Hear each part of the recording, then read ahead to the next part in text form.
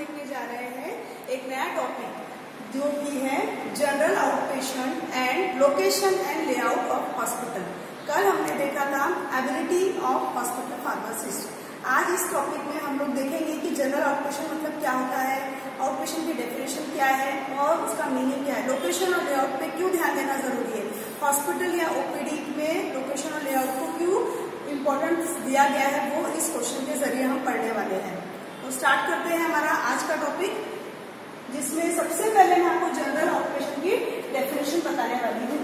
तो the patient is provided service for preventive health care and for diagnosis treatment after confirming general discomfort early complaints symptoms and not of emergency और referral case ये हुई हमारी definition अब इसको समझ लेंगे। सबसे पहले हम बारी बारी से कि जो वहाँ पे बहुत भारी भारी वर्ड्स आए हैं तो उसको पहले हम समझ लेंगे कि क्या उसका मीनिंग है।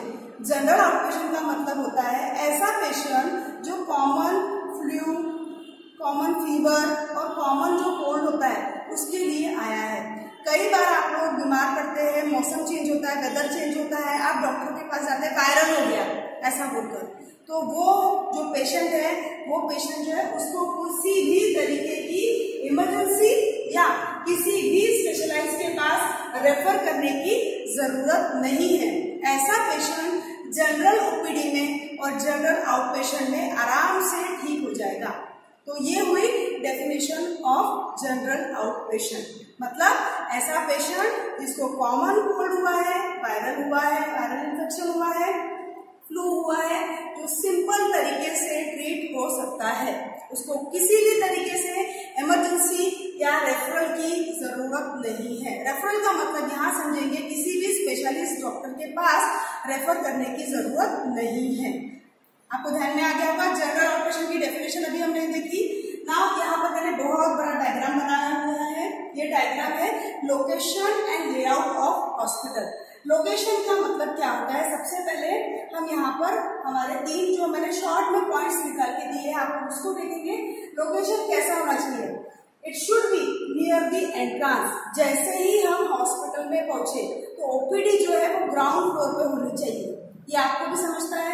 जब आप हॉस्पिटल में जाते हैं तो हॉस्पिटल में जैसे ही एंटर किया, वहाँ पे लेफ़्ट साइड में रिसेप्शन रहेगा, फिर उसके बगल से ही कैबिन रहता है डॉक्टर का और उसके बगल से ही वहाँ पर पेशेंट बैठे हुए रहते हैं। बिल्कुल डिसाइड वहाँ पर पेशेंट के बैठने का इंतज़ाम रहता है।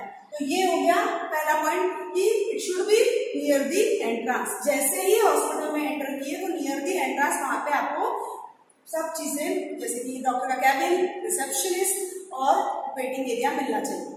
नाउ सेकंड बोला है डिक्रीज और minimum disturbance to inpatient इसको समझ लेंगे सेकंड पॉइंट मैंने लिखा है decrease disturbance to inpatient इसका मतलब ये होता है कि जो भी वहाँ पर ओपीडी में पेशेंट आया है, उसके वहाँ पर रहने से, उसके, उसका जो नंबर है वो आने तक वो जो बातचीत करेगा, उससे वहाँ पर एडमिटेड पेशेंट को किसी भी तरीके का डिस्टर्बेंस नहीं होना चाहिए।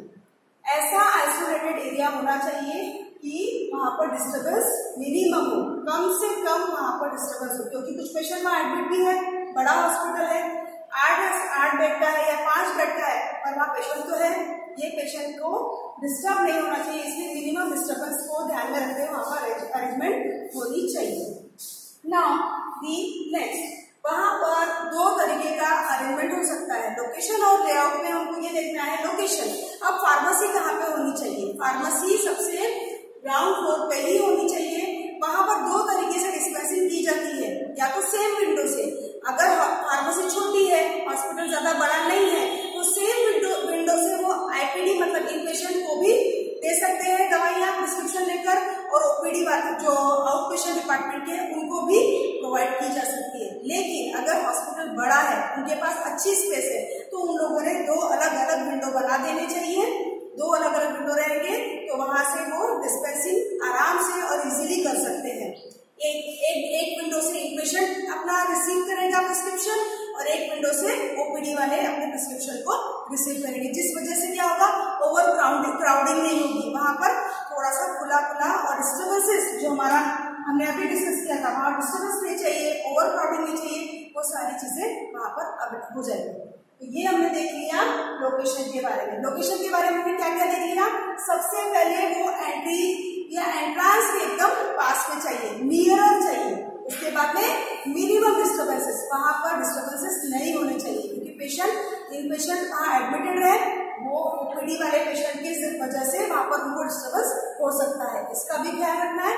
तीसरा हमने पॉइंट यहाँ पे देख लिया है कि अगर हॉस्पिटल छोटा है तो सेम विंडो से करो अगर हॉस्पिटल बड़ा है तो डिफरेंट विंडोज़ दो। इन पेशेंट के लिए अलग और आउट पेशेंट के लिए अलग। इस तरीके से डिस्पेंसिंग प्रिस्क्रिप्शन की की जा सकती है। नाउ अब हम देखने जा रहे हैं लेआउट लेआउट का जो पॉइंट है, ये कैसा होना चाहिए? इस टाइम जैसे ही पेशेंट एंटर हुआ तो it creates should create a good impression बहुत ही अच्छा इम्प्रेशन उसने क्रिएट करना चाहिए। पेशेंट ऑलरेडी बीमार है, थोड़ा सा परेशान है लेकिन अगर हॉस्पिटल का एटमोसफियर उसको अच्छा लगा तो वो थोड़ा सा रिकवरी उसकी होने लगती है। वहीं से डॉक्टर के पास जाने के पहले ही उसको अच्छा फील होने लगता कि मैं हॉस्पिटल में तो पहुँच गया हूँ, अब मेरा इलाज अच्छे से हो जाएगा। हेल्दी एनवायरमेंट अच्छा इंप्रेशन होना चाहिए। लेआउट पे। फिर सेकंड बोला है कि वहाँ पर टू विंडोज़ का इंतज़ाम बहुत अच्छे से अगर हो सकता है तो करना ही चाहिए। कैसा? टू विंडो मतलब one for receiving the prescription एक जगह से प्रिस्क्रिप्शन रिसीव किए जा रहे हैं और दूसरे विंडो से प्रिस्क्रिप्शन डिलीवर किए जा रहे हैं। अगर ऐसा खुला और ऐसा स्पेशियस आपको वहाँ पर अरेंजमेंट पॉसिबल है तो आपने ज़रूर करना है। लेआउट के केस में टू विंडो ज़रूर फॉलो करना चाहिए। One for receiving the prescription and second for the delivering the prescription now next है, वहाँ पर फार्मेसी के पास में वेटिंग एरिया बहुत ज़्यादा ज़रूरी है। हम लोगों ने पिछले साल हॉस्पिटल विज़िट के साथ में फार्मेसी विज़िट भी की थी तो नागपुर में रजत फार्मेसी है, वहाँ पे हम लोग गए थे। तो उनके यहाँ बहुत ही अच्छा मिडिल में ऐसा वेटिंग एरिया है। फार्मेसी में भीड़ बहुत ज़्यादा रहती है, हर पेशेंट को जल्दी है। तो उन्होंने इस तरीके का सिस्टम करना चाहिए कि भाई आप जब तक आपका नंबर नहीं आ रहा है, तब तक आप वहाँ पे बैठ जाए और वेटिंग एरिया होना चाहिए। Now similarly it should be clean and ventilated वो जो वेटिंग एरिया है क्लीन होना चाहिए वेंटिलेशन होना चाहिए। वापस से वही बात पेशेंट बीमार है, परेशान है अच्छा एनवायरमेंट प्रोवाइड होगा तो उसको थोड़ा सा वहाँ पर फील गुड होगा। नेक्स्ट रीडिंग वहाँ पर क्या क्या रख सकते हैं कि पेशेंट थोड़ा सा उसको पढ़े और उसका नंबर आने तक के वो इंतज़ार करे। तो रीडिंग बुक्स रख सकते हैं आप वहाँ पर। फार्मेसी रिलेटेड बुक्स वहाँ रख सकते हैं। जनरल वहाँ रख सकते हैं। अगर बहुत ही अच्छी फार्मेसी है तो कई बार आपने देखा होगा कि वहाँ पर एलईडी पे वो एक डिस्प्ले चला देते हैं, जिसमें डिफरेंट डिज़ीज़ के बारे में कई सारे पेशेंट सर्जरी को लेकर डरे हुए रहते हैं। जैसे डेंटल की ही सर्जरी है इम्प्लांट है, वो कैसे होते हैं, वो उनको जानकारी देना है तो वहाँ पर वो वीडियो चला दिया। पेशेंट बैठे बैठे अपना वीडियो देख रहा है, उसका नंबर आने के बाद में अपना प्रिस्क्रिप्शन लेकर अपना डिस्पेंसिंग कराकर वो चला जाएगा। तो ये बहुत ही अच्छा साइन है। नाउ डिस्प्ले पिक्चर कई सारी चीज़ों का जैसे हार्ट का लगा सकते हैं ब्रेन का लगा सकते हैं लंग्स का लगा सकते हैं, ऐसे डिस्प्ले पिक्चर्स वगैरह करने से वहाँ का जो एनवायरमेंट है, वो बहुत ही अच्छा हो जाएगा पेशेंट फील गुड करेगा और वो देखते रहेगा कि भाई ऐसा होता है, हमारी बॉडी अंदर से ऐसी है, उसको इंटरेस्ट आएगा, वो दो तीन चीज़ें और सीख लेगा वहाँ पर। ये हुआ, साथ में एक कॉमन चीज़ आपने देखी होगी न्यूज़पेपर तो रहता ही है। तो कुछ भी पॉसिबल नहीं हो रहा है तो एटलीस्ट आप न्यूज़पेपर तो रख ही सकते हैं। उसके बाद में लिखा है कि अबाउट ये सब जो हो गया हम लोगों ने देखे ना नेक्स्ट हमें देखना है अवॉइड ओवर क्राउडिंग वहाँ पर ओवर क्राउडिंग नहीं करनी है। पेशेंट को थोड़ा सा स्पेस मिले, ऐसा अरेंजमेंट वहाँ पे रखना है। ज़्यादा भीड़ भाड़ होगी, ज़्यादा तकलीफ़ होगी। और वैसे भी अभी कोरोना की वजह से हम लोगों ने बोला ही है कि ओवर क्राउडिंग नहीं होनी चाहिए सोशल डिस्टेंसिंग होनी चाहिए तो ये सब चीज़ें भी यहाँ पर फॉलो होनी चाहिए। नाउ द लास्ट और बहुत ही इंपॉर्टेंट पॉइंट है patient counselling advice guiding related to health and hygiene should be provided अगर पॉसिबल हो रहा है तो फार्मासिस्ट का काम है कि पेशेंट काउंसलिंग करे, वो पेशेंट को काउंसलिंग का मतलब होता है पेशेंट को एडवाइस करना कि दवा या मेडिसिन अगर ले रहा है तो किन चीज़ों का ध्यान रखना है, कौन सी बातें नहीं करनी है। अगर बोला खाना खाने के पहले ही खाना है तो ज़रूर उसको फॉलो करें अगर बोल रहे हैं कि खाना खाने के बाद खाना है आफ्टर मील खाना है तो ज़रूर फॉलो करें किसी किसी दवा में कहा जाता है जैसे कि गया है कि उसको आपको मिल्क के साथ नहीं लेना है तो ये सब चीज़ें बताना है। तो ये हो गया पेशेंट काउंसलिंग जिसमें advice guidance related to health और हाइजीन हाइजीन तो आप सबको समझ में आता है।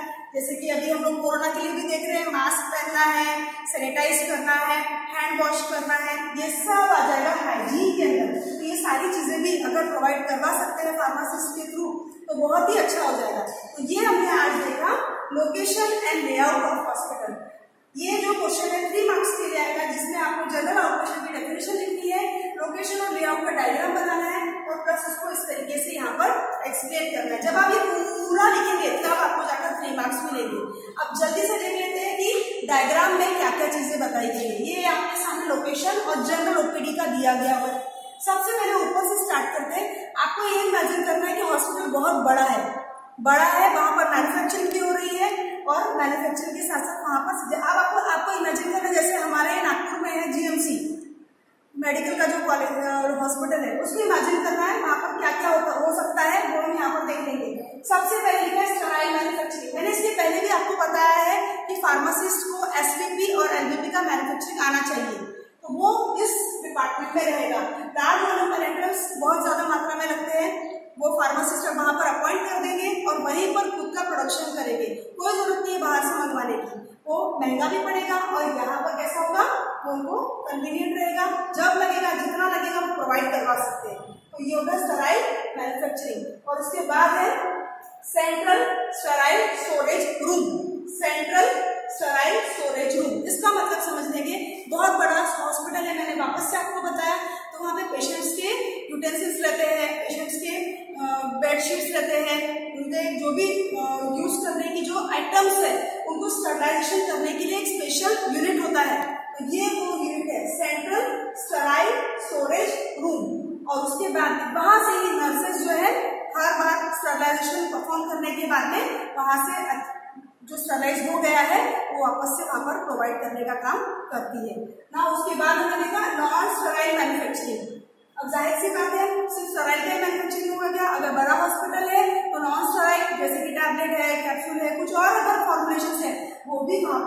फॉर्मुलेट हो सकते हैं।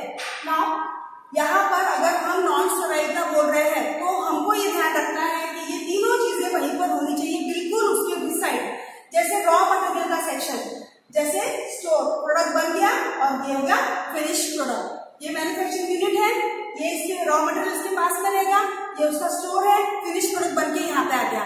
तो पास में रहने से कैसा होगा? कन्वीनियंस बढ़ जाएगा तो आपको ये क्लियर होगा फ़र्स्ट पार्ट में हमने क्या क्या देख लिया वहाँ पे स्टराइल मैन्युफैक्चरिंग देख लिया सी एस एस आर जिसका मतलब है सेंट्रल स्टराइल स्टोरेज रूम और फिर देखा नॉन स्टोराइल का मैन्युफैक्चरिंग और फिर उसके जस्ट डिसाइड वहाँ पे रहेगा इसको बनाने के लिए लगने वाला रॉ मटेरियल उसका स्टोर और बनने के बाद फिनिश प्रोडक्ट आ जाएगा यहाँ पर उसके बाद है ये passage this is the passage area आने जाने के लिए जगह भी तो चाहिए ना?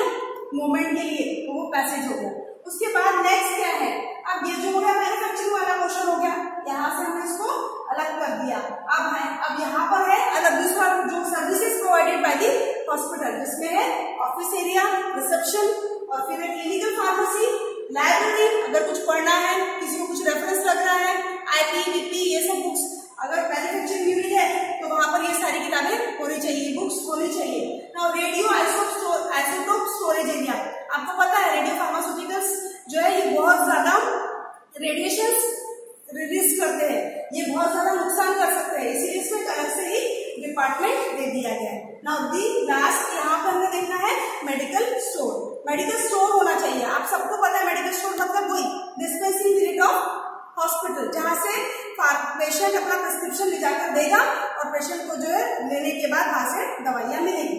इसके बाद है dispensing video sorry dispensing window मैंने आपको थोड़ी देर पहले ही बताया था कि वहाँ पर विंडोज़ जो है वो स्पेसियस होना चाहिए। जैसे मैंने यहाँ पर देखो चार विंडो बनाए हैं। तो आप इमेजिन कीजिए, मैंने आपको यहाँ पर थोड़ी देर पहले ही बताया था कि एक विंडो से वो प्रिस्क्रिप्शन रिसीव करेगा और एक विंडो से प्रिस्क्रिप्शन जो है उसको डिस्पेंस किया जाएगा। समझ में आ गया? तो ये फॉर एग्ज़ाम्पल हमने अगर